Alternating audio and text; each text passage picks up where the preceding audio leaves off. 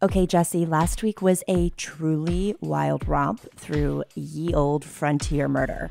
What's the story this time around? When a devoted family man loses his wife due to a mysterious sudden death, he is surrounded by sympathy and support. But when three more members of his family die within the next 32 months, that sympathy turns into suspicion. I'm Andie Cassette. And I'm Jessie Pray, and this is Love Murder.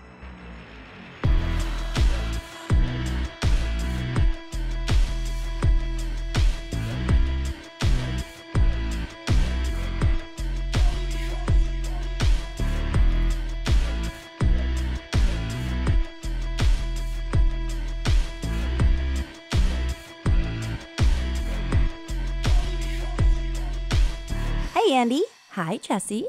Welcome back, everyone, to Love Murder, a podcast about bad dads getting mad and love gone fatally wrong. You can find Love Murder on TikTok and Instagram at Love Murder Pod and on Facebook by searching Love Murder Podcast.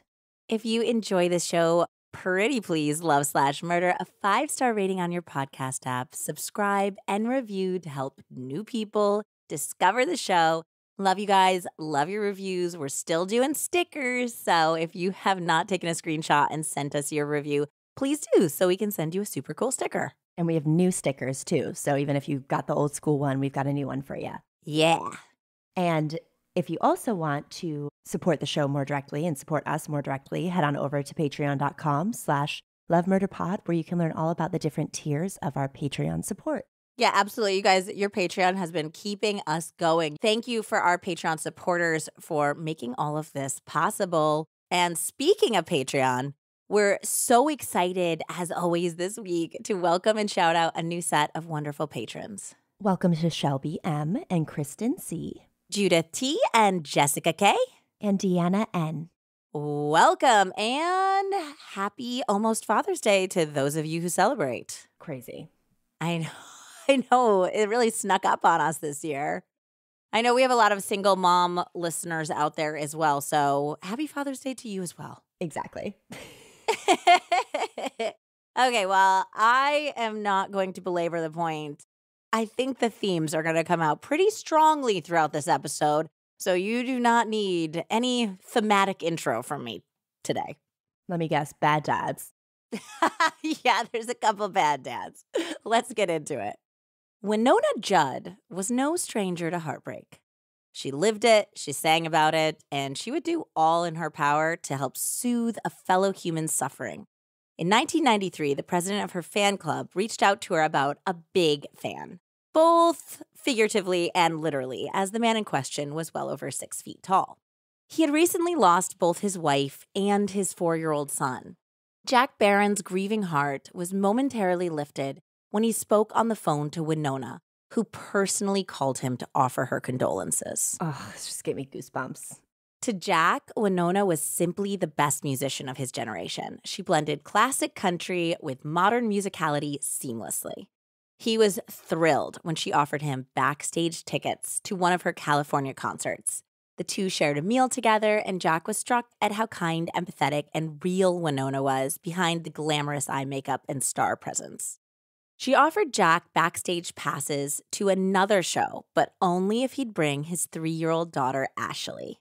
The photo from that 1994 concert depicts a smiling Jack towering over Wynonna with a sweatshirt emblazoned with a picture of he and Wynonna from the previous show, with the text above the picture reading Wise Guy, like Wynonna's guy, W Y apostrophe S Oh, guy. No.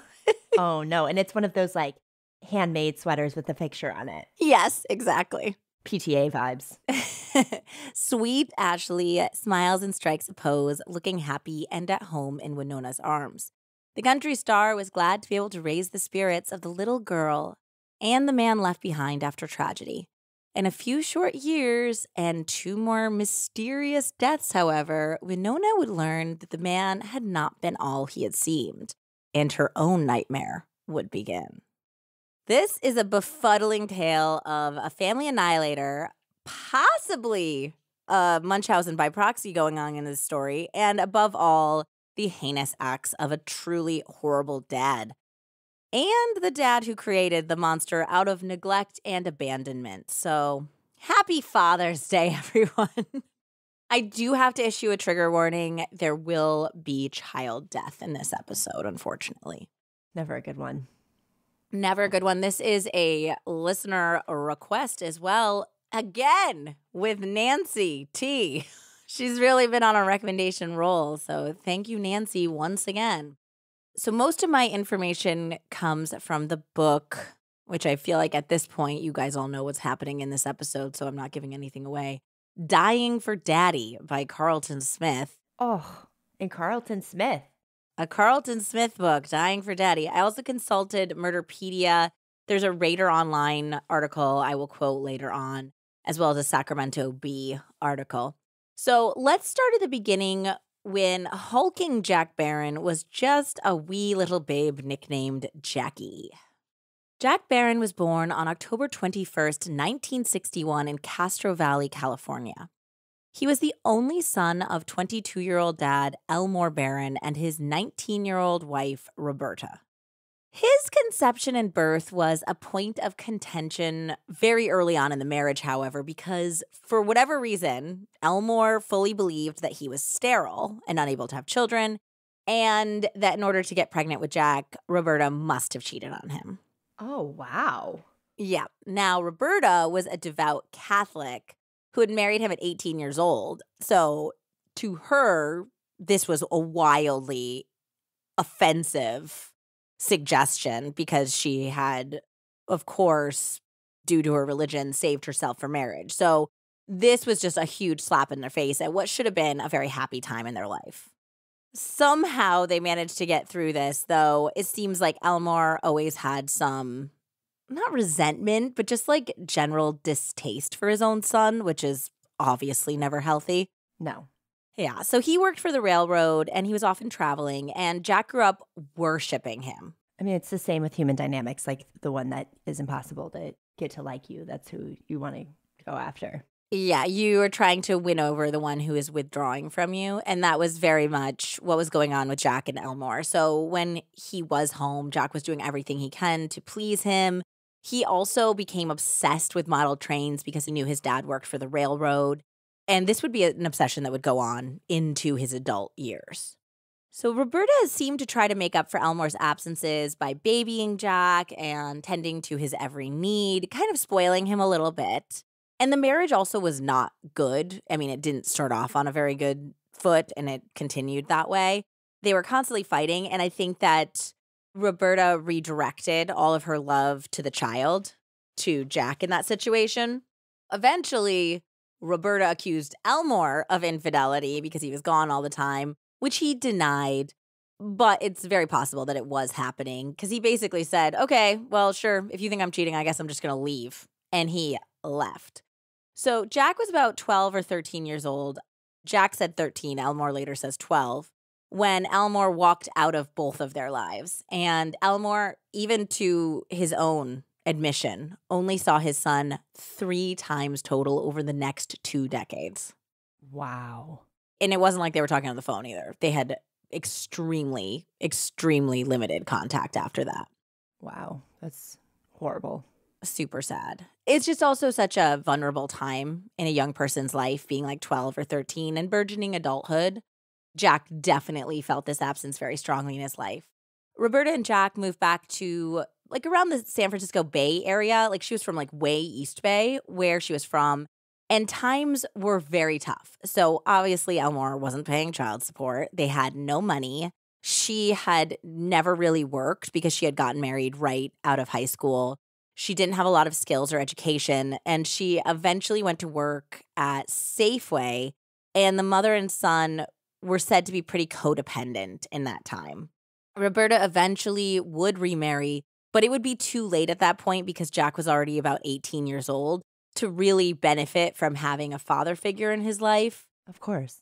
At that point, it just kind of felt like this dude was horning in on their situation. After high school, he became a laborer with the railroad, which was where he had wanted to work his whole life because he wanted to be like his dad. And he did work there for two years before he injured himself and he went on disability. He was 25 and visiting a good family friend in Shasta, California, when he met a beautiful 29 year old named Irene Paget. Irene was indeed four years older than Jack, and she already had one failed marriage to her high school sweetheart behind her. But in so many ways, she still seemed naive and young and very overly trusting. Irene was born July 18th, 1957, the fourth and last child of a very close knit, loving military family. So she was very much the beloved baby. Those who knew her said that her basic nature was kind hearted and trusting.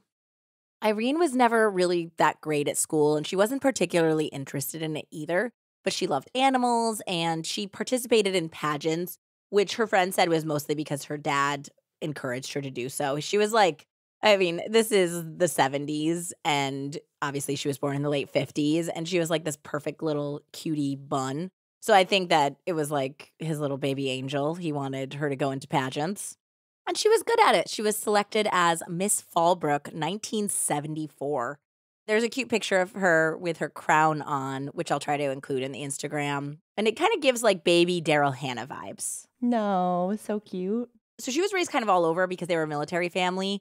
She was like born near Reno, but spent time in Germany on a military base. But then Fallbrook, I think, is right. It's like north of San Diego, or it's somewhere in the vicinity. So there's still kind of like a California girl vibe there. Born to nurture, all Irene really wanted in life was to get married and have a family.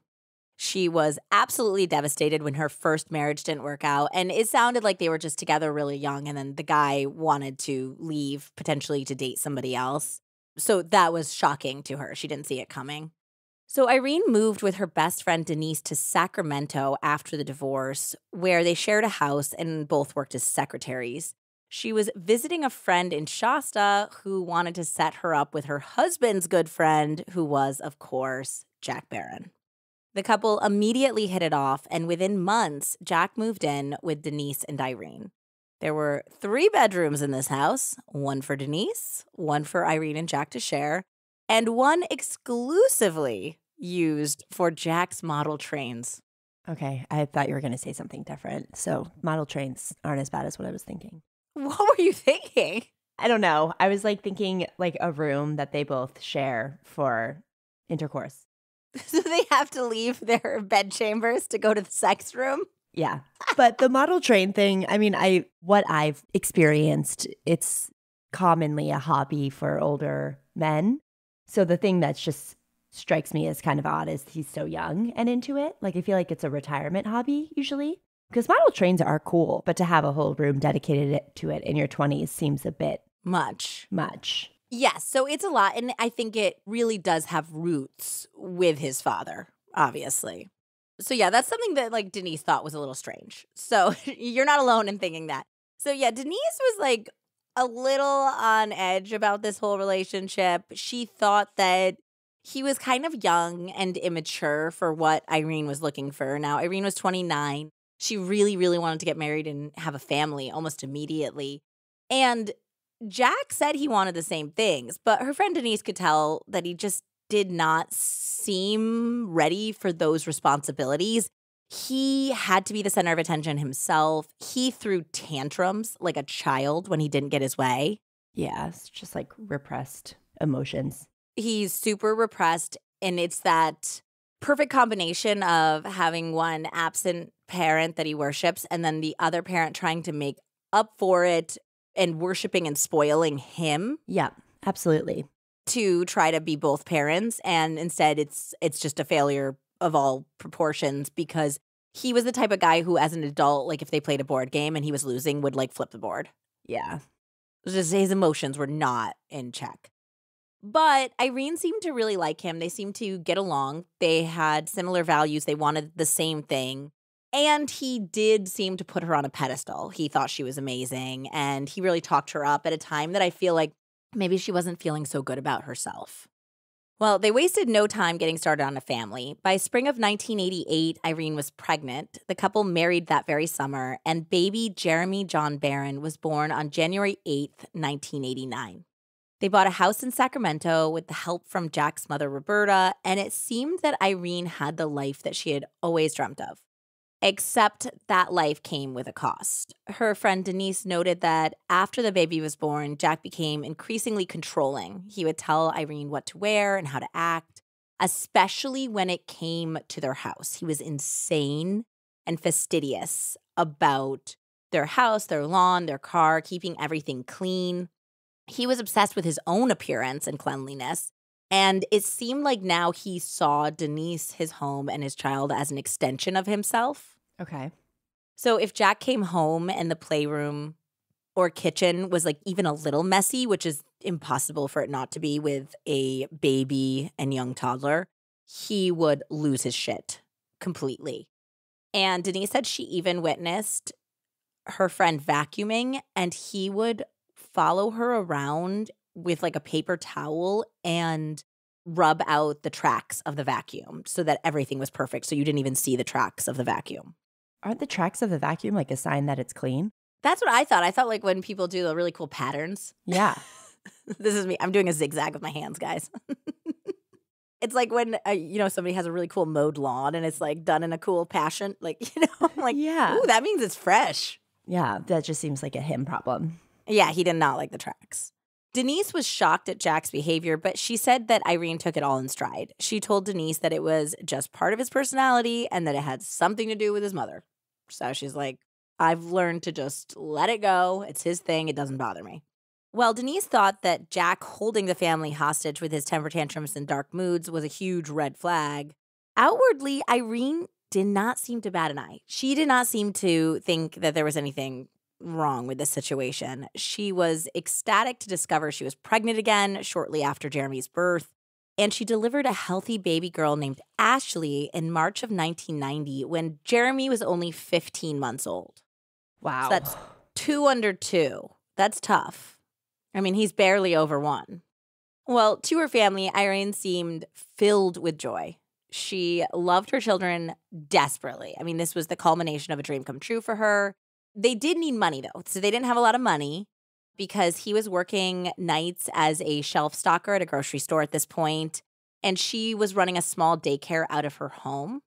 But her brother said that he talked to her about life, and she was like, I don't need material things. This is all I've ever needed. We have this house, we have these two beautiful children. I have a loving husband. This is all I've ever wanted in my life. That's incredible. Yeah. So she had a, just a great outlook about all of this. But best friend Denise said that even though Irene was happy on the outside, she had some sneaking suspicions that she wasn't completely satisfied in her marriage or in the way Jack behaved in their marriage. In late May of 1992, she confessed to Denise that she was worried Jack may be having an affair. Oh no. Yeah. And that's that's the thing. Like she could deal with his misbehavior. She couldn't deal with the fact that he'd be walking out on the marriage or being unfaithful. I mean, it's a horrible feeling. She had also converted to Catholicism by this point because it was important to her mother in law. So she was really trying everything to be part of this family.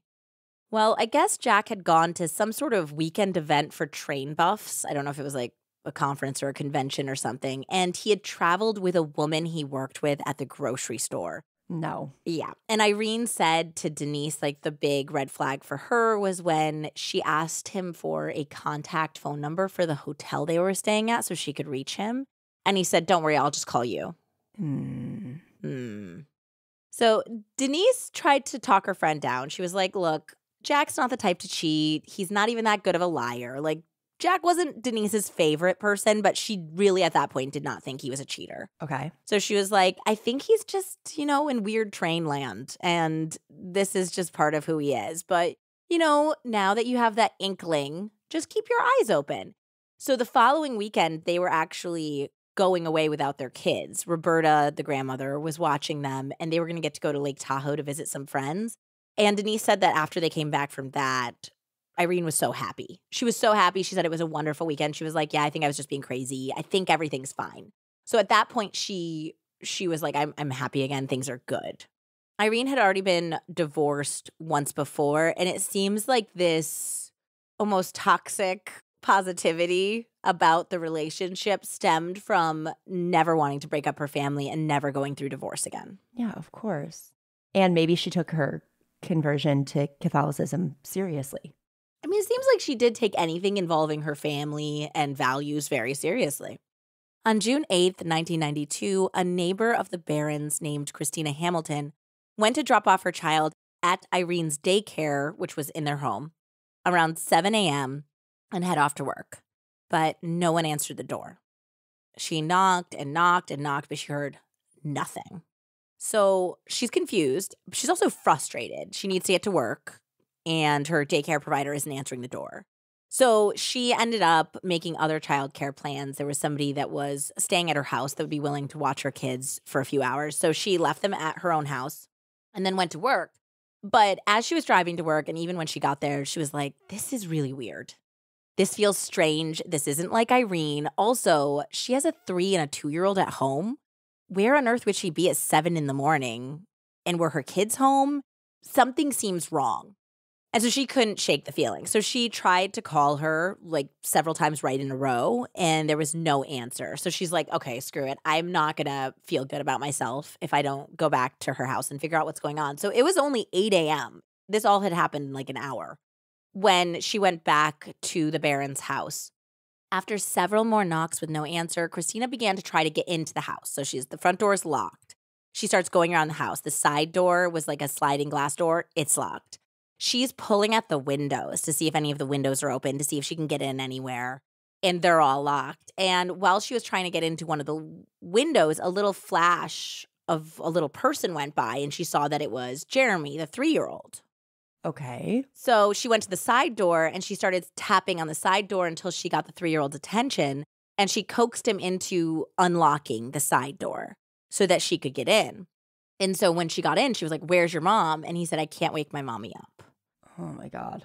So Ashley was up too, but she's like our kid's age. So, you know, they're not as verbal as a three year old. So she was just kind of like following her big brother around.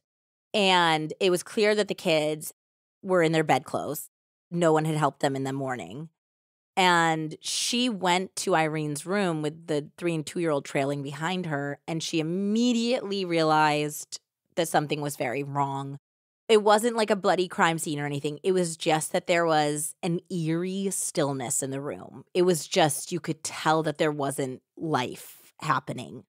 And Irene was lying in a really weird way. She was still wearing a pink nightgown and pink fuzzy slippers, but she had a pillow placed over her head.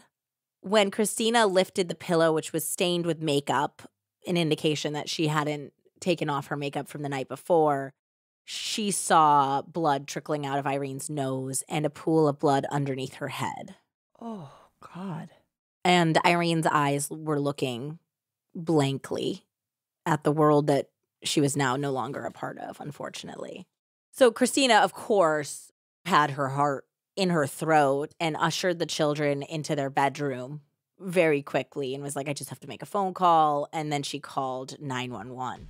The EMTs who arrived on the scene only minutes later confirmed what Christina already knew Irene was dead. Andie, nothing in the world matters as much to us as our kids' health. So I'm excited to share our sponsor today, Hiya Health. Absolutely. Typical children's vitamins are basically candy in disguise, filled with two teaspoons of sugar, unhealthy chemicals, and other gummy junk growing kids should never eat. And that's why Hiya was created. It's a pediatrician approved superpowered chewable vitamin. Did you know that most children's vitamins are filled with five grams of sugar? Uh, yes, it's like ketchup. Hiya is made with zero sugar and zero gummy junk, yet it tastes great and is perfect for picky eaters. Hiya fills in the most common gaps in modern children's diets to provide the full body nourishment our kids need with the yummy taste they love. Formulated with the help of nutritional experts, it has a blend of 12 organic fruits and veggies and is supercharged with 15 essential vitamins and minerals, including vitamin D, B12, C, zinc, folate, and many others to help support immunity, energy, brain function, mood, concentration, teeth, bones, and more. It's non GMO, vegan, dairy free, allergy free, gelatin free, nut free, and everything else you can imagine. Hiya is designed for kids of all ages and sent straight to your door so parents have one less thing to worry about. Always so ideal. Absolutely. And I've talked about this before, but my dad's a dentist and he sees all the time such wonderful, well meaning parents coming in with little kids who have cavities because of gummy vitamins. Which also, I gotta say, guys, I love giving my kids ice cream, maybe the occasional treat, some candy every once in a while. I wanna make sure I know when they're getting that sugar. Yes. and yes. not be also giving that sugar to them with their vitamins. Absolutely. Also, I don't know if you saw, but it comes with these cute little stickers that you can customize the bottle with their name and make it kind of unique for them. And they were so cute and fun to do with Echo. Yeah, it really makes it their own. We have worked out a special deal with Hiya for their best selling children's vitamin. You can receive 50% off your first order. And to claim this deal, you just go to hiyahealth.com slash lovemurder. This deal is not available on the regular website. Go to H-I-Y-A-H-E-A-L-T-H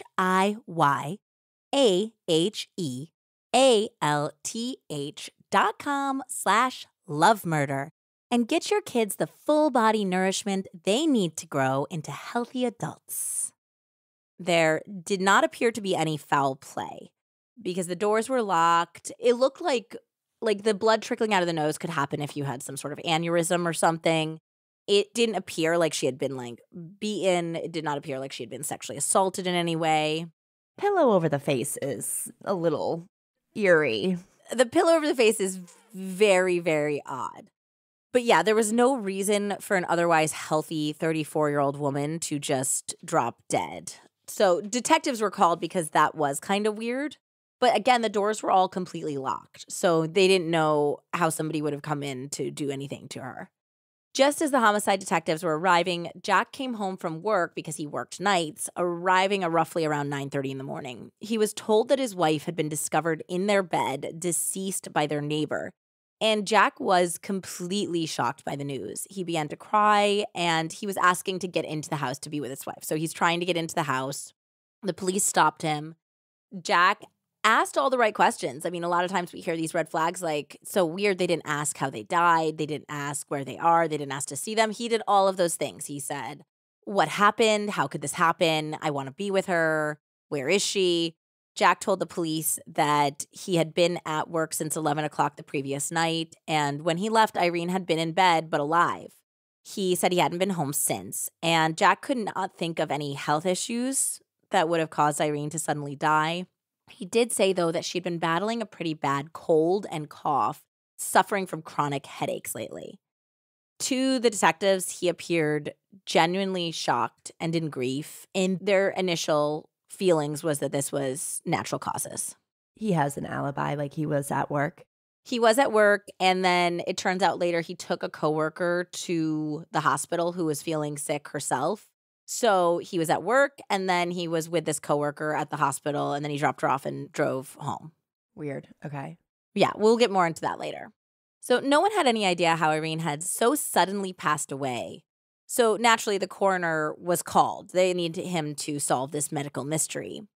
He found that according to the lividity and rigor mortis, as well as Irene's body temperature, that Irene could have died as early as 7:30 p.m. the night before. Whoa. So if that's the case, how would have Jack known that she was alive and well before he left for work at 11 p.m.?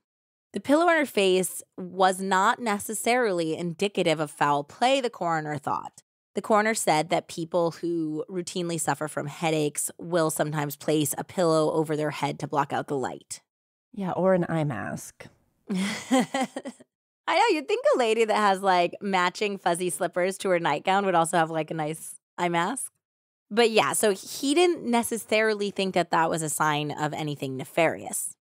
And while Irene did have burst blood vessels in her eyes, the small petechial hemorrhages we've talked about, which can be indications of asphyxiation, he thought it could also be due to the agonal dying process. But after her autopsy, the coroner could still find no reason for Irene to have passed away. I mean, he's looking at her organs, he's looking at her brain. He just cannot find a way, natural or otherwise. He was convinced, though, that there had to be a rational explanation. And because the authorities on the scene had no reason to suspect Jack or foul play, absolutely no one thought that Irene had been murdered at this point. There was no red flags about their situation whatsoever. Okay. Well, the police were not suspicious of Jack. Irene's family was starting to have reason to be. John, Irene's brother, said that he had a gut sense that Irene had been killed. When he first found out that she was dead, he wasn't like, oh, what happened? He was like, oh, she's been killed. That was like the weirdly first thought that flitted through his brain. He also thought it was strange because he went with Jack to the funeral parlor. And I guess the the guy at the funeral parlor said, Hey, if you get a double plot so that when you end your life you can be with your wife, you get a discount. And Jack was like, Yeah, let's do that. And so Irene's brother, John, like put a hand on his hand and was like, Dude, you're 30 years old. You're 30 years old. You have your whole life ahead of you. I hope you find somebody and meet someone who is a great stepmother to my niece and nephew and you build a beautiful life together so you could have a second wife that's you're with for 40 years or more and you're going to be buried next to my sister like just get a single plot and you can work this out later. Yep. But he insisted on it, which John thought was really odd. He's like, why is he insisting on getting this double plot? so he thought it was weird, but he would not think it was sinister until months later when the second grave would also be filled and not by Jack Barron. Oh no. The other red flag for Irene's family was when Jack moved a woman named Starla and her children into the family home mere weeks, weeks after Irene died. I'm Starla. yeah. Not only that, he was giving away or throwing away all of Irene's things. Within six weeks, it was almost as if Irene had never existed. Starla was not only the coworker Jack had brought on the train trip, but she was also part of his alibi. Mm.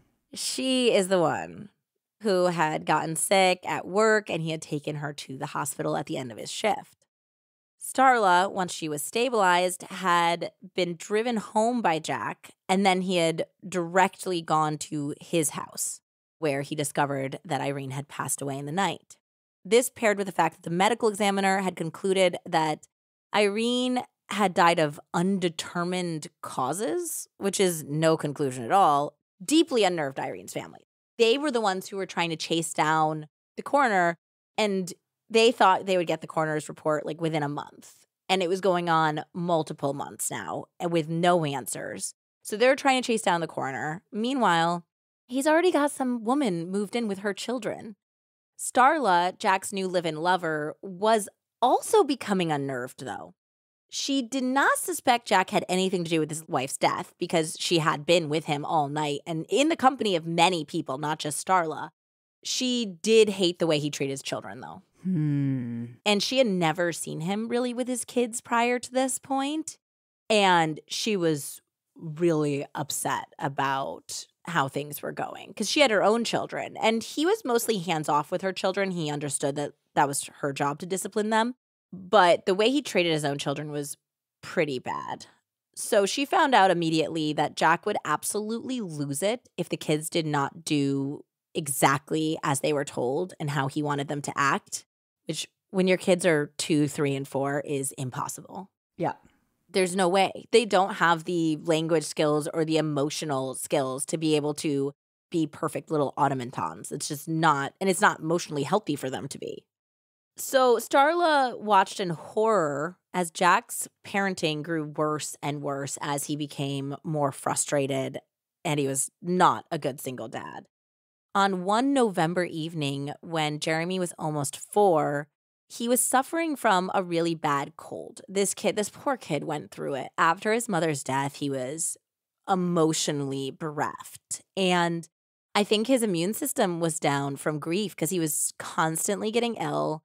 He was really sad. He was really down. He was very whiny, but because he was lost and alone and sick. And because Jack worked nights, he would need to sleep in the afternoon before he went to work. And there was one night, it was like an afternoon basically. And I guess that Jack was supposed to be napping before he went to work. But Jeremy was really sick and he wasn't feeling well. And he kept screaming and crying from his room. And he eventually, he was about four at this point. He went into Jack's room and he was screaming that he wanted his mommy. He kept screaming that he wanted his mommy over and over and over again.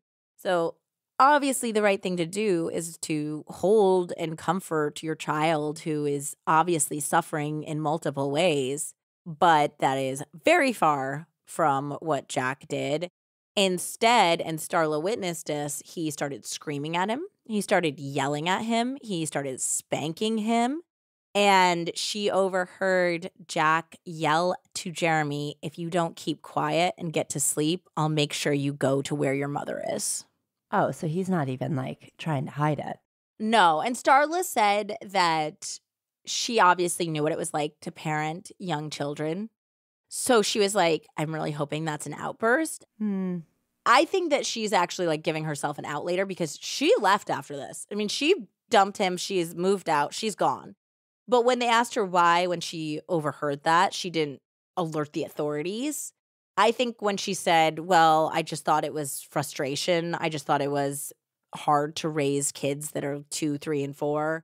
I think she was just kind of giving herself an out because she probably felt bad about not going to the authorities later on. Uh, yeah, I mean, but like, what are you supposed to do? Like, she's supposed to like literally go to the cops and say, This is what he said. Yeah. I feel like the cops in situations like this that we've heard in the past would like laugh at that. They probably wouldn't care, but the fact that she had died so mysteriously and there was particular hemorrhaging and a pillow found on her face would make you think that maybe that little bon mot would have got the process started. But I think you're right. I mean, she probably was like, look, I'm recently single because she was separated from her husband when she moved in And has kids. and has two kids herself. I don't want to get involved in this. I mean, it's like horrifying on all fronts. Yeah. So she leaves. So she left at some point in November December and she takes the kids with her too. And this means that the children's lives are disrupted once again. So Jeremy, again, was affected the most by this. And he lost his mother. Now he lost his mother type figure. In early February of 1993, a depressed Jeremy was once again battling a horrible cold. And this time he had this deep congestion in his lungs. And they said that it caused him to cough so hard that it sounded like he was retching. He was coughing so hard. Oh my God, this poor baby. So on Sunday morning, February 7th, Jack gave Jeremy two doses of this cold medicine and he put him to bed. It was basically like he gave it to him earlier in the morning and then like mid morning. At 12:45 p.m., a 17-year-old babysitter named Jennifer came over to watch the kids while Jack got some sleep before his night shift. Only when she went there, no one was answering the door. So she's ringing the doorbell, she's knocking, nobody's answering the door. She went home because she lived in the neighborhood and she ended up calling the Barrons about 15 minutes later and at that point, Jack answered the phone and he explained that he must have been in the shower when she came by. He forgot when she was coming. So he's like, Actually, I do still need you to babysit. Can you come back? Which she did. And she said that when she arrived, both children were napping. And Jack told her that she should not let them sleep for more than three hours. So he's like, They just got down. Do not wake them up. So she peeked in on the kids at that point and she saw that Jeremy was lying on his right side with his little face turned towards the bedroom wall. So she couldn't see his face. It was just like he's facing away from her. I can't believe he's involving the babysitter in this, by the way. This is infuriating. Well, this is going to be his MO too, by the way. So Ashley was also asleep and little Ashley woke up first at 2:40 p.m. Jennifer then went in to check on Jeremy because she was like, "Okay, Ashley's up, maybe I'll get Jeremy up at this point too." So they're both up. And she knew immediately that unfortunately something was very wrong. Jeremy was in the exact same position that he had been when she had first checked on him almost two hours earlier. So she ran into Jeremy's room and she tried to shake him awake, but he could not be roused. She said that her eyes went like blank, almost like her mind went blank, actually. Like everything went blank at that moment that she's like, this child is lifeless. I don't know what to do. And so she tore into Jack's room because he was still sleeping because he was about to go to work. And she shook him awake and she was screaming, There's something wrong with Jeremy. He's not getting up. And so she's like, Go to him. I'm going to call 911. So he's still kind of like getting out of bed. She's already at the phone calling 911 and she's yelling to Jack while she's on the phone to the dispatcher. The dispatcher says to do CPR. Can you do CPR? Can you start CPR? Like she's like freaking out. And Jack came around the corner, looked at his son, and then said to the babysitter, Don't bother. It's too late anyway. Um, this is your child. Your child. And they even talked about how the EMTs came and they already knew that he was passed away, but they have a protocol where they do all of the life saving things when it's a child, like almost more for the parents. So the parents can see that there was an effort, that they did everything, that their child was unable to be revived despite doing literally everything, taking him to the hospital, letting the doctors do everything they could do. So they were going through these motions, even though it was unfortunately very clear that four year old Jeremy was dead. He's sick. It had been eight months to the day that Irene had died when Jeremy was found dead. Seems a little controlling in even his murders. Yeah. And it did not seem real to everyone else who was around the situation. When Jack called Denise to tell her the horrible news, now this is Irene's best friend, she screamed at him, How can this be? How can two people die for no reason within eight months of each other? Because these are like her god babies, you know? Jack said he had no idea and that the coroner's office was investigating. And the coroner's office was investigating because it was a mother and son who lived in the same house. They did extensive testing on the Barron household to exclude mold or any other contaminants that might have been in the household that were causing death. They found nothing. So then they're like, well, maybe it's genetic. Maybe there is some genetic component here that we're missing, which means that they would have to discover what had killed Irene and Jeremy pretty quickly because it would stand to reason that Ashley, who's three years old at this point, could be in danger. Yep. And she was, of course, but not because of any genetic reason. Well, kind of. I mean, I guess it is a genetic reason. yeah, who her father is. Yeah. The authorities were still not suspicious of Jack, however, so they ran test after test on little Ashley, as well as Irene's parents and Jack himself, to detect if there was any hereditary condition at play. And they did find that Ashley may have sleep apnea and potentially a burgeoning little heart defect. But they said that it was really hard to tell because the tests that they did were not designed for three year olds.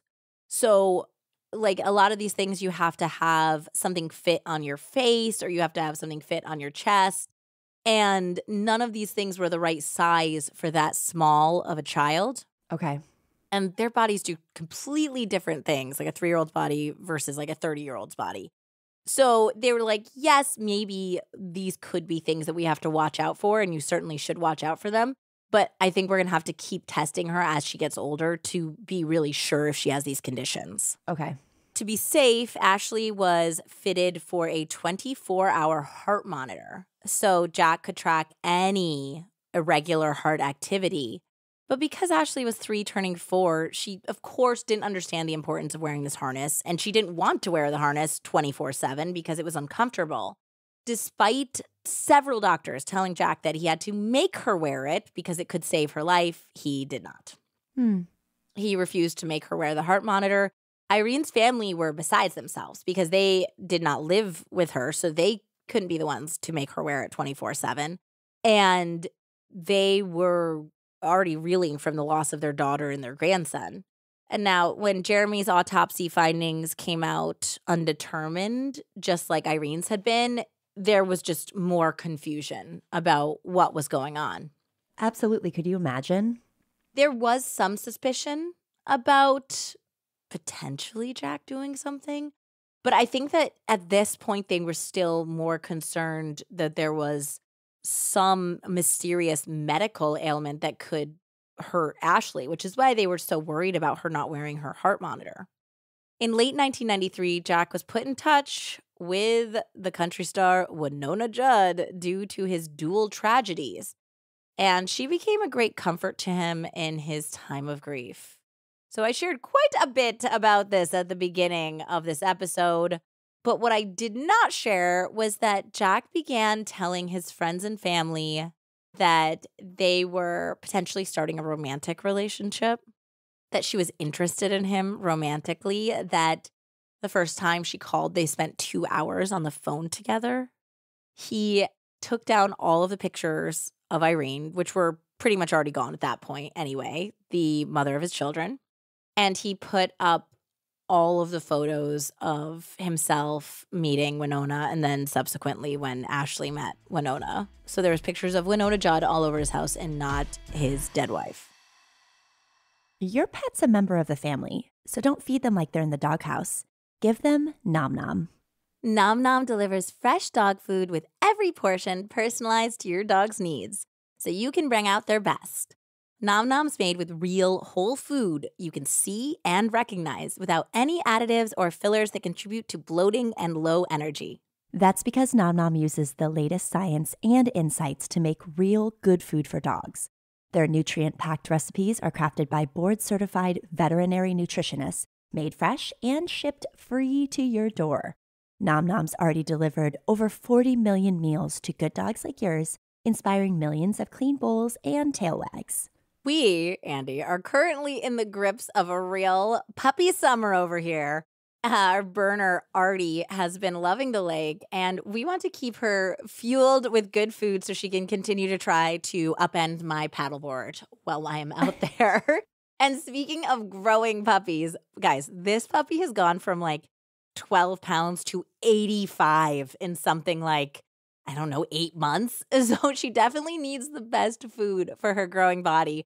I will be putting up, I think, an Instagram story of her enjoying Nom Nom because she loves it. So cute. I feel like Nom Nom is just the perfect food for her, and I can't wait to see her grow with it. Mm, I know. Plus, Nom Nom comes with a money back guarantee. If your dog's tail isn't wagging within 30 days, Nom Nom will refund your first order.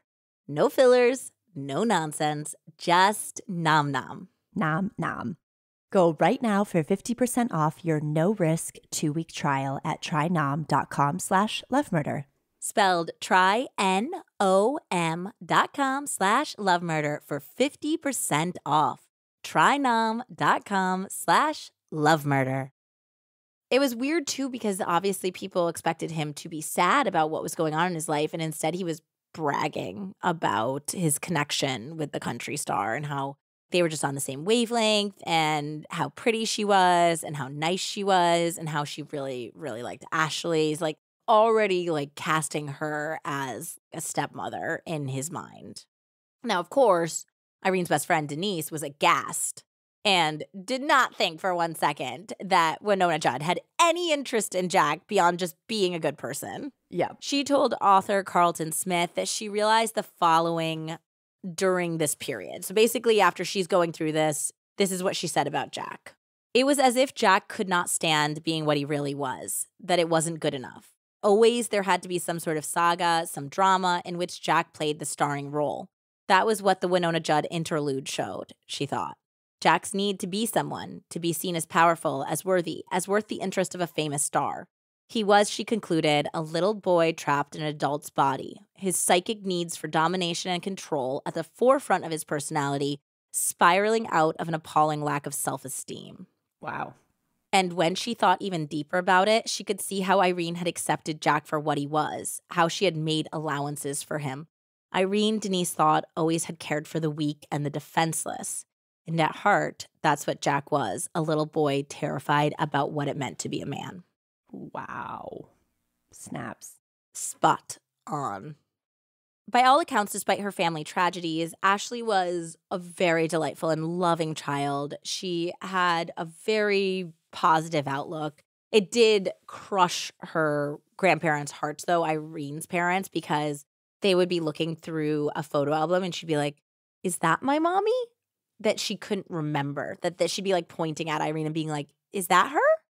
And so it was just breaking their hearts. But everyone was fully in love with this child. She was sweet, she was affectionate, she was adorable. And Roberta, who is Jack's mom, had a really good friend named B. Kennedy who had three daughters herself that were just a little bit older than Ashley. And they would often watch Ashley, and they got so close that B actually offered to adopt Ashley because she just fit in with the family. Ashley would cry every time she had to leave. She wanted to be part of their family. And Roberta, who is her grandmother, even thought it was a good idea. She was like, I don't know if Jack is really cut out to be a single dad. And this is a way she could have a full family, siblings, everything. Yeah. But Jack wouldn't consider it. If this was an emotionally healthy person, Uh-huh. I do understand like you go through a couple tragedies and then they want to take your last remaining child away. But obviously, knowing what we clearly know, That's not the case. not the case, yeah.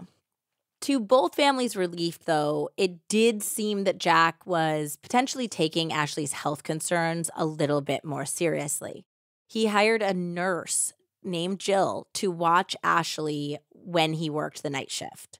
So she was fully trained. She was aware that Ashley had some heart issues potentially. And the deal with Jill was that when she worked the night shift, like many babysitters would just go over there and fall asleep because it's just a healthy kid sleeping and they'd wake up if the kid cried. But because she was a nurse, she actually would stay awake all night and she would be monitoring Ashley's breathing. So Jill watched Ashley all throughout the spring and summer of 1994 with no problems, no signs of any health issues. On the evening of August 6, 1994, Jill arrived at the Barron house at 10:45 p.m. Mm. Jack gave Jill a glass of strongly brewed iced tea, which was the way Jill liked her iced tea a little bit stronger, but she said that this one was really strong. Okay. It's weird. And then he left for work. Jill said that she checked on Ashley around midnight. She appeared to be asleep. She said that she was facing the wall and lying on her side wearing 101 Dalmatian pajamas. Jill lay down on the couch and promptly fell asleep, which was not Jill's usual MO. She had never After asleep. drinking tea, strongly brewed tea. Exactly, which I think is why she likes strongly brewed tea so that she would stay up the whole night. So this was unlike Jill. At four in the morning, she woke up again because she had to go to the bathroom. And at that time, she checked on Ashley, who she said was now lying on her back, but she wasn't moving. And she could not wake her up. Ashley's little body also was cold to the touch. So she immediately dialed 911 and was like, I'm going to do CPR right away because I'm a nurse. And she went to do CPR, but she said she could not pry Ashley's mouth open because the rigor has already set in. what? Is that possible in four hours? I mean, when the EMTs arrived, they said, We think that she has been passed away for more than four hours. It's been at least four hours, they said. But she checked on her. And that's the confusing thing. This is the big question about Ashley's death.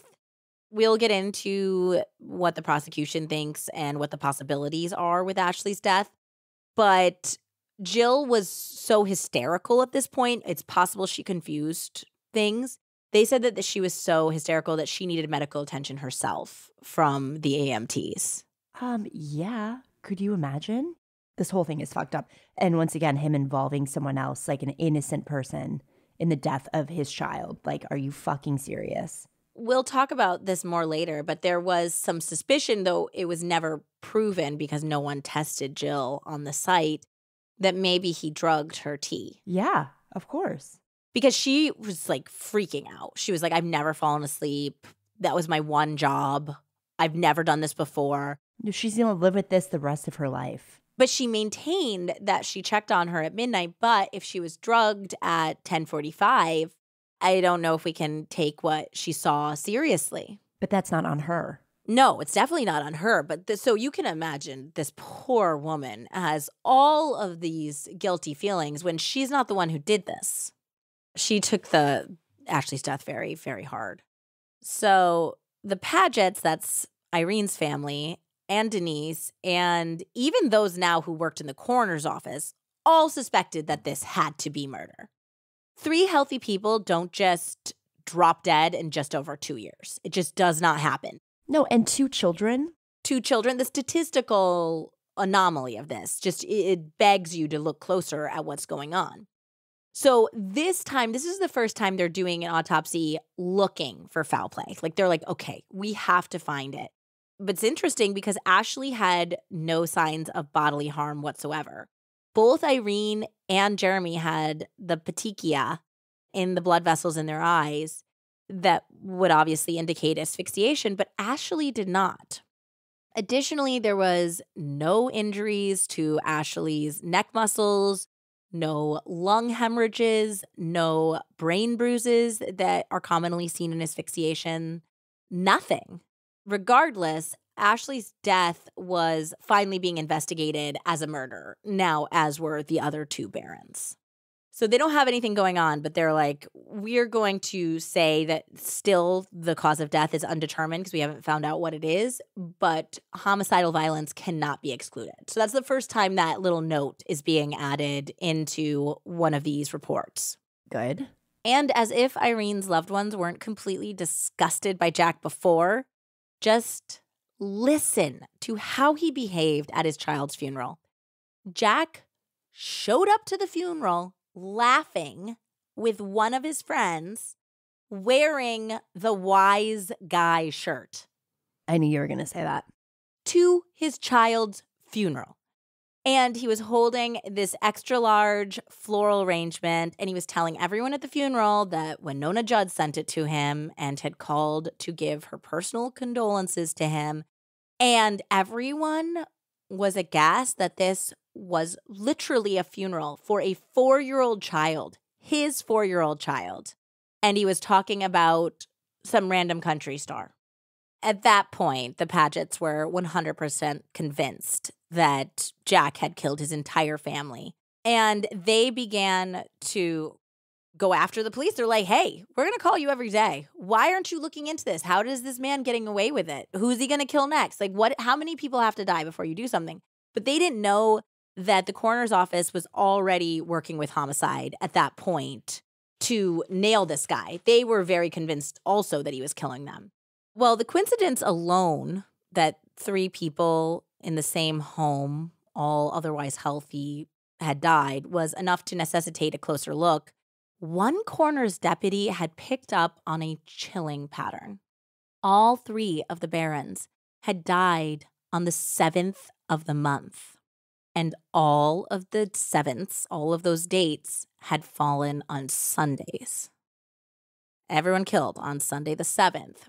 When they looked through Jack's family history, interviews, everything that covered his life, they discovered that his father, Elmore, was born on August 7th, 1938, which, by the way, August 7th was the day that Ashley was killed. And it turns out, when you looked back at the perpetual calendar, that August 7th, 1938 fell on a Sunday. Whoa. So fucked up. He's serial killing his entire family for what? To get his dad's attention? What is this? Now they know this. So they're like, okay, he obviously has issues with his father, but they couldn't figure out exactly how Jack had killed them. So they're like, we know there's like some sick psychological motive we know he killed them. We just do not know how. We cannot figure this out. Have they exhumed the other bodies? No. Okay. Furthermore, he had made very sure that someone else, as you pointed out, had found all of his victims, which gave him an alibi every single time. However, it became clear when examining coroner's reports that he had killed Irene before he had left from work, obviously, and he had lied about seeing her alive. So that's easy. Like he's like, yeah, she was alive at 11 p.m. And at the time, they had taken him for face value because when they determine the approximate time that people died, there's so many variables that they always give themselves a few hours window. So they're like, okay, well, she could have died as early as 7:30, but that doesn't mean she didn't die at 11:30 or midnight. So they took him at face value. But obviously now they're looking back at it and they're like, he lied. He had killed her before he left for work, obviously, which is horrible if you think about it, because that means he left his two and three year old children alone in the house with their dead mother. Yeah. To find her. And God forbid they had an accident or anything happened to them.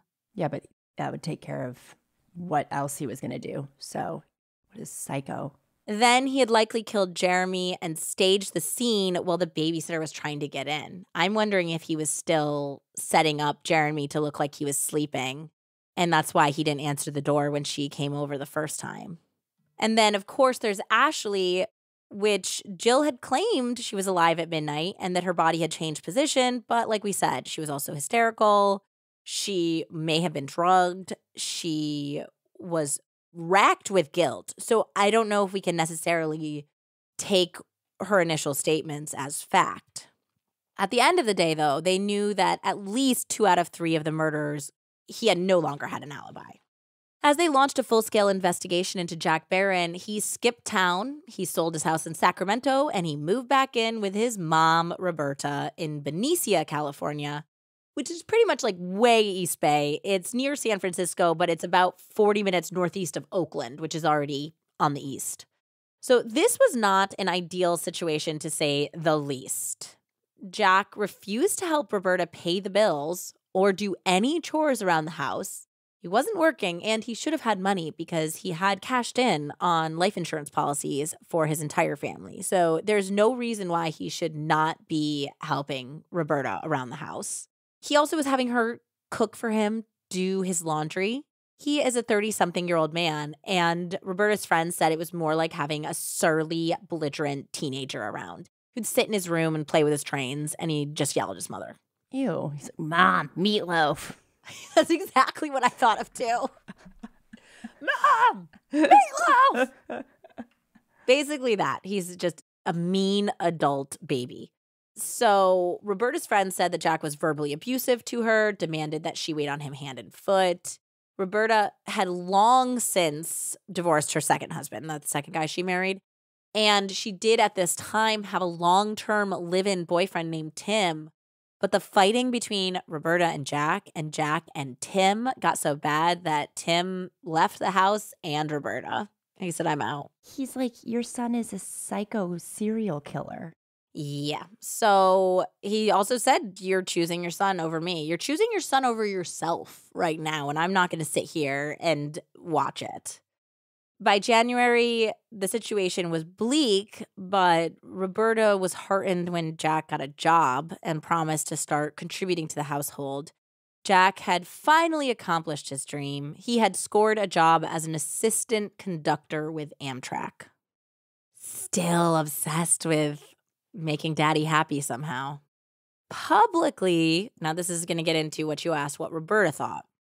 Publicly, Roberta loudly shot down any whiff of suspicion about her son. So there was some family friends that said if it was even broached, she'd be like, absolutely not. How dare you say something? He's suffering. But privately, her best friend B said that she was in turmoil. On January 25th, 1995, the death certificate on little Ashley was publicly filed. And her best friend knew that she read the report, which again said undetermined, but it also had that line that said homicidal violence cannot be excluded. Yep. So her friend said that after reading that, Roberta had to grapple with her gut feeling that her only child may have also been the monster who killed her only grandchildren, which I am wondering if she had some suspicions earlier on, which is why she was trying to get her son to adopt out Ashley.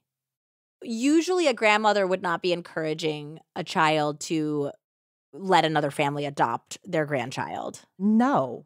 I feel like normally we have instincts that tell us things that we might not want to see or hear, but there's a reason that it's telling us these things. Yeah. And so I think she was going through a lot at this point. Of course. There was another friend that came to stay with them during this period and also witnessed Jack being very verbally abusive to Roberta and said that Roberta had privately said to this friend, I'm over this situation. I'm going to ask him to leave. I'm going to ask him to get his own place. He can't stay with me anymore. And it seemed like maybe she was also starting to think that he potentially was a killer and she wanted him out of her home. But we can never know for sure what Roberta knew and what she intended to do because on Monday, February 27th, 1995, Jack Barron came home after work around 1:30 or 2 p.m. and reported that he found his mother, Roberta, dead in her own bed. But 27th, not 7th.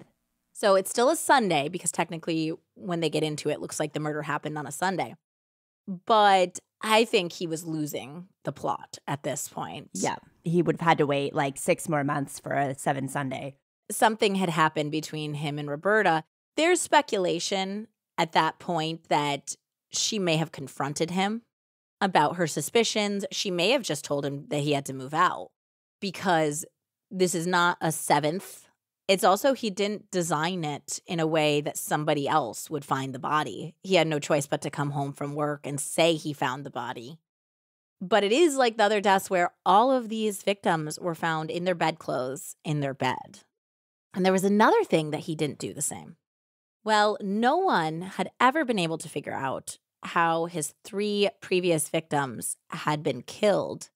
He had lost it on Roberta, and her autopsy was a very different story. Roberta, too, had the petechial hemorrhages like Irene and Jeremy, but she also had a light red abrasion on her nose. And inside her mouth, Roberta had a half inch abrasion on the lower inner lip. It was evidence that someone had held a pillow over her face, which caused the abrasion on her nose, but also caused her to bite through her own lip while she was being smothered to death he had been smothering all of them to death with pillows. I mean, that's like literally what I would have thought from the makeup on the first one. But obviously, he did all of the right things for the cops when he came home.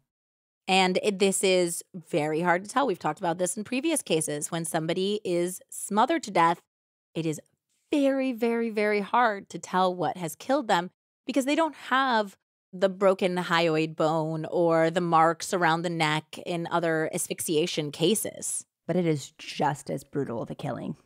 Of course. It is just as brutal. Being smothered by someone who you're supposed to love you. And if you are sleeping, it's shocking. Yeah.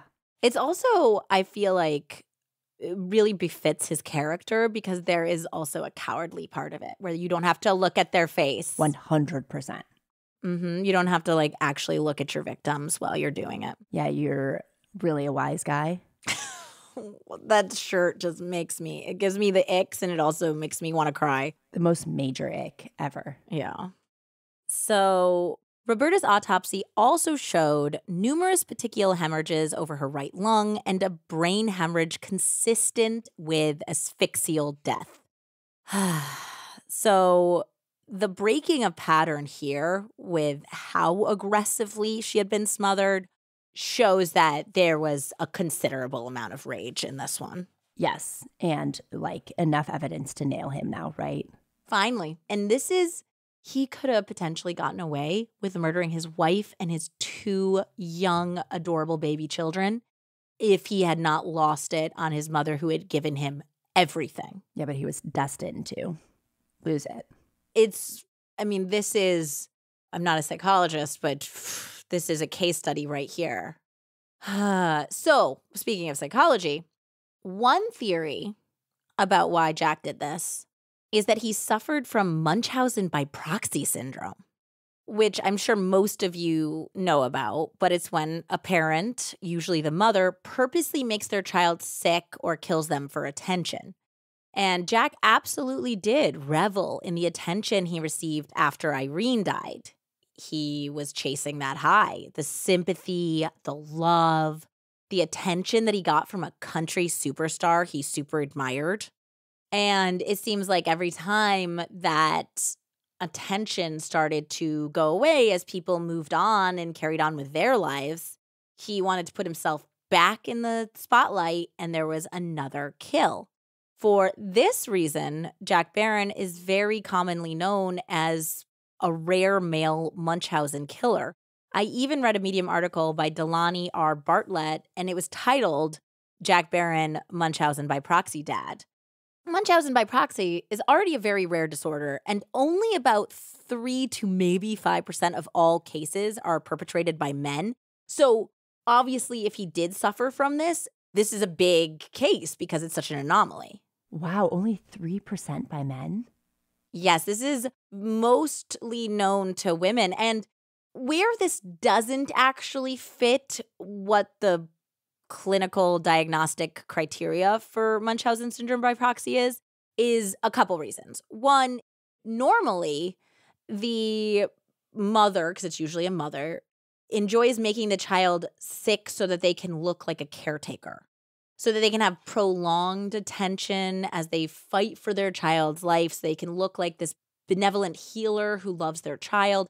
That's the attention that they enjoy getting. And it doesn't always behoove them to kill their child because at some point the attention will end then because the child's gone and people grieve and then they get over it. And so obviously he wasn't making his family members sick for long periods of time. He was snuffing out their life very quickly. So that's where it doesn't exactly fit the diagnostic criteria. The other part is that there should be no other external incentives. It should be all about the attention this person is receiving. Yeah, it's like it doesn't fit. He needs like his own, it's like a different diagnosis. And because there's also other psychological elements at play. And he got something like in today's money, $84,000 in insurance money on Irene, Jeremy, and Ashley but he stood to collect in today's money more like 266,000 from Roberta. Plus, he would have gotten her condominium and anything that was involved in her estate. Yeah, I feel like using the Munchausen by proxy is kind of an excuse for him just being a psychopath serial killer. Yeah, because I read all over, it's like, this is the Munchausen dad. And I was like, I don't know if it really sounds like it fits to me. But then again, here's the other thing because there's so rarely male sufferers that maybe this is what it would look like. Maybe it looks differently, it presents differently in males. It's possible, yes, that he is one of these rare male sufferers of Munchausen by proxy. Whatever the motive is, they finally had enough evidence to arrest Jack Barron and they did so on July 17th, 1995, which coincidentally would have been Irene's 38th birthday had she lived. You like special dates? There's a fucking special date for you, Jackie boy. I like to feel like Irene was karma ferrying there. Same. Well, speaking of special dates, once again, specifically his kill dates associated with his father's birthday, what did his estranged father have to say about all of this when the news broke about Jack's possible motive and how it was tied to him? The Sacramento Bee reporter Sam Stanton tracked down Elmer Barron, who was apparently living in the southeast part of the United States at that point, and asked him how he felt about his son. And this is what Elmore had to say It bothers me and if he did, in fact, do all of this, I'd like to be the one who pulls the switch San Quentin on him. Because if I brought this turkey into the world, I want to be the one who takes him out. Turkey. it sounds to me like he knew I was going to hear about this sooner or later, the seventh, and he knew it would ring a bell with me. And I don't know if he was jealous because it was sometimes such a big to do over my birthday, like way more than his. Uh, when he was a child, it was more about your birthday than his. when he left Roberta, Elmore said Jack was 12. Now I've heard from Jack it was 13. Elmore said he'd given Jack a choice of which parent to live with, and Jack had chosen Roberta, which I do not know if that is true or not. Over the next 20 years, Elmore told Stanton he'd only seen Jack about three times and talked to him maybe a couple times on the phone. Elmore sounded as though he did not like Jack very much. He said, quote, I worked for the Southern Pacific Railroad for 30 years, and he's a railroad buff, and every time I get around him, that's all he wanted to do was talk trains, and it just irritated me. I could stand to be around him for like a day. Wow. Father of the year over here. Bravo. Happy Father's Day to that piece of shit. Oh man. Well, I hope all of you at home are celebrating with better dads than Elmore, and certainly a lot better dad than Jack Barron, who finally went on trial in early 2000. Jack elected to have a bench trial, which of course means no jury. The prosecution revealed a note that had been found in Irene's personal effects. The note was to Jack, and it said, I'm really sorry you're unhappy right now. We have so much to be happy and thankful for. It really upsets me when I hear you talk about divorce. the uh, prosecution contended that Jack wanted Irene out of his life to make room for Starla, the coworker he was involved with. Then, after he did so, the children proved to be more difficult than he imagined, and he could not handle them on his own. So he killed them as well, with the added motivation of the insurance money. The prosecution basically compared it to him following Irene around with a vacuum, being like the children were like the tracks in the carpet that he had to smudge out. They no longer fit his life. They messed up his house. They didn't listen to him. They Didn't let him take a nap. Yeah, poor Jeremy is screaming for his mother. They were no longer anything he wanted in his life. But he also, it was premeditated because of the, the grave sites. It, it had to be, right? Yeah. Yes. The prosecution further contended that Roberta was going to ask Jack to leave because they had friends of hers testify to what she had spoken to them before she passed away, and that she maybe had confronted him about his role in all of the family's deaths when he killed her as well. I'm sure she did. I'm sure she was like, you need to move out. And he had like a fucking fit. Oh, God, what a horrible thing to feel as a mother. Oh my God. Jack's attorney argued that the family had hereditary heart problems and that he was 100% innocent, which doesn't even make sense because Irene and Roberta are not related by blood. So, not all four of them could have the same hereditary heart problem. Good job, defense attorney. hey, they gotta somebody's gotta defend this piece of shit. So Jack took the stand himself and he spent nine hours crying and refuting the charges against him, saying that he was still in love with Irene at the time of her death, that he, of course, loved his children, that he had nothing to do with this. Well, the Sacramento judge ended up convicting Jack Barron on three first degree murders and acquitting him on one. Do you want to guess which one he got off on? Maybe Irene. No, it was Ashley. Ashley, really? It's because of the babysitter's initial testimony. Ugh. That kind of breaks my heart a little bit for the babysitter. Because she had been tested and there were potentially sleep apnea or some heart issues, or maybe those two things go together, whatever it was, there was that. And then there was also the fact that she had claimed to see her alive at midnight because Jack did have a solid alibi for that time after he left the home until he came home after Ashley's death. I mean, he had probably figured shit out by then, too, because he had already killed two people. I very much think he drugged her. And I think that if you're in a confused state and you're drugged and you don't know what's going on, it's possible that she believed what she saw. Absolutely. I sometimes don't know what's dream and reality when I take a Benadryl. Exactly. So basically, the judge was just saying that there's reasonable doubt there because there was reasonable doubt on the one murder. I mean, if you put it together with the other murders, I feel like a jury of his peers probably would have convicted on all four, which is why he went for a bench trial because a judge is more likely to be unemotional about it and go by the letter of the law. And in this case, there was reasonable doubt about Ashley's murder. Okay. But he still murdered three other people. So please tell me he went away for life. He did. And in California at the time, there were special circumstances that if you kill X amount of people, meaning multiple people at different times, including three people at different times, which means you're a serial killer, then you will automatically receive no parole. So he was sentenced to three consecutive life sentences with no possibility of parole. He was 38 years old when he was sentenced, and he will be there for the rest of his days. It looks like he's still alive. Now, Andie, I know you were concerned about Wynonna Judd. Was I? I don't want you guys to think that I just teased something about Wynonna Judd at the, the beginning, and that I wasn't going to circle back to it because we're coming back on the Judd train. According to a radaronline.com article written by Teresa Roca in 2019, Wynonna's ex husband, Arch Kelley, said in 1999 that Jack Barron made a phone call. They said he didn't identify himself, but they were very, very convinced it was Jack, threatening to kill him, her husband at the time, and their son Elijah before he went to trial. He was saying, I'm going to come and take care of you. The family believed that Jack intended to kill Wynonna's husband and son and then kidnap her. The family was kept under 24 hour guard until Jack was sentenced and taken to prison. terrifying. No good deed goes unpunished, huh? She's trying to do something nice for somebody.